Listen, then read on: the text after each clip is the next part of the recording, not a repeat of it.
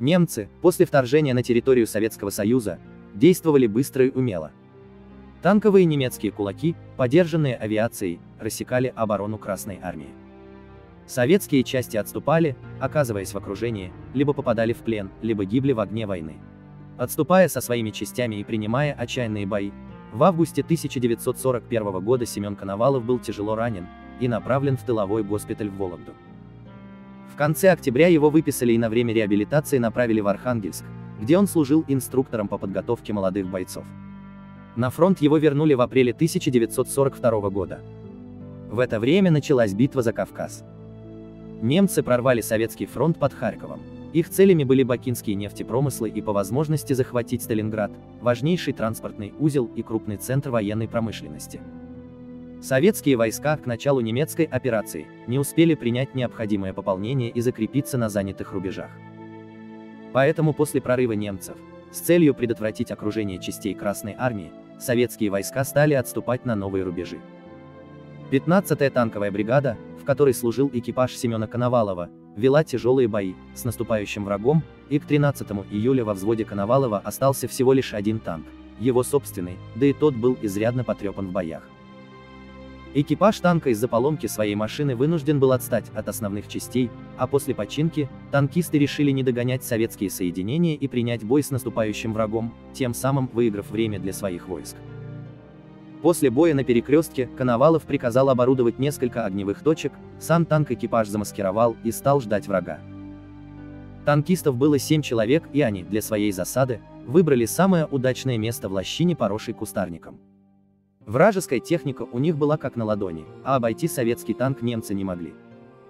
Примерно через час появились основные силы врага. Гул десятков моторов известил о приближении надвигающейся угрозы. Серые башни танков блестели на июльском солнце. В состав колонны также входили броневики и автомашины с пехотой. Подпустив колонну поближе, танкисты Коновалова открыли огонь. Первыми выстрелами они вывели из строя два головных танка. А потом равномерно стали расстреливать колонну врага. Немецкая техника рассредоточилась, а солдаты десантировались с машин. Вражеские танки открыли ответный огонь но из-за хорошей маскировки, советский танк невозможно было обнаружить. Немцы подумали, что с ними воюет советская артиллерия, и они отступили. Перегруппировавшись, немцы снова пошли в бой. Танкисты Коновалова сменили позицию, и снаряды во врага летели уже с другой стороны. Коновалов приказал полить местность вокруг танка водой, чтобы пыль от залпов не выдала их местоположение. Немцы пустили вперед средние танки Панзер-4, которые прикрывались самоходками и более легкими танками. Советский экипаж открыл огонь и до того момента, как был обнаружен, успел сжечь шесть вражеских танков. После, маневрируя между холмами, КВ продолжал вести бой до тех пор, пока фашисты не смогли сбить гусеницы советской машины. Но и дальше экипаж КВ продолжил сражение, отстреливая технику врага и подавляя живую силу противника из пулемета. Тяжелая броня КВ была неуязвимой против пушек немецких танков и самоходок, которые от выстрелов нашего танка горели один за другим. Уничтожить советский танк нацисты смогли только тогда, когда подтянули две крупнокалиберные пушки. Они-то и расстреляли советский танк прямой наводкой. Танкисты Коновалова к тому времени уже израсходовали весь свой боезапас. Этот бой шел до темноты и немцы, уничтожив советский танк, не решились наступать дальше и отступили до следующего дня. Советский танк КВ-1, на котором сражался наш экипаж, отличался повышенной броней. С началом войны эти танки вергали противника в шок. Пробивались они только с близкого расстояния, да и то в основном только крупнокалиберной артиллерией. Эти танки в первые дни войны создали много хлопот нацистским войскам, замедляя их продвижение к Москве. Но у КВ-1 был ряд недочетов, сказывалась поспешность внедрения его в производство. Особенно много хлопот доставляла трансмиссия, которая не выдерживала нагрузок тяжелого танка и часто выходила из строя. И если в открытом бою КВ действительно не имел себе равных, то в условиях отступления многие танки этой модификации даже с мелкими поломками приходилось бросать или уничтожать. Чинители эвакуировать их не было никакой возможности.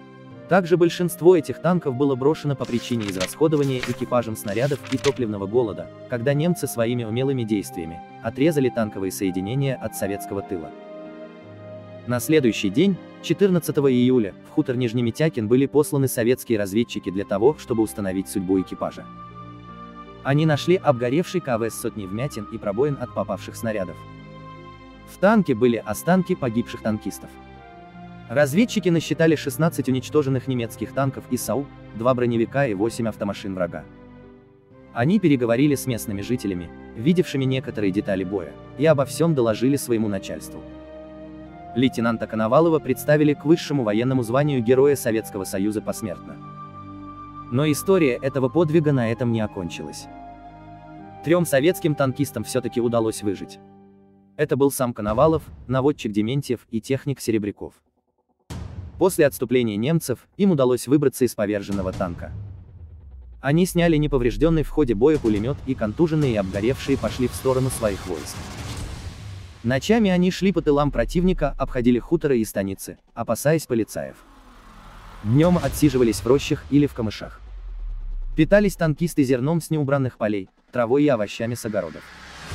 На четвертые сутки танкисты встретили одинокий немецкий танк, экипаж которого остановился на отдых. Внезапно атаковав и уничтожив нацистов, советские танкисты двинулись дальше уже на трофейной машине. Немало удивились немцы, когда их одинокий танк пошел в атаку на советские позиции. Бойцы же Красной Армии были также в некоторой растерянности, когда увидели эту одиночную атаку. Они даже не открыли огонь по заблудившемуся танку, а когда попытались взять танкистов в плен, то удивились второй раз, увидев в танке советский экипаж. После проверки, танкисты Коновалова вместе с трофейным танком были зачислены в танковую часть. Нарисовав на башне красную звезду, еще три месяца они воевали на трофейном танке. 31 марта 1943 года лейтенанту Семену Васильевичу Коновалову вручили его награду медаль «Золотую звезду» и отправили в отпуск.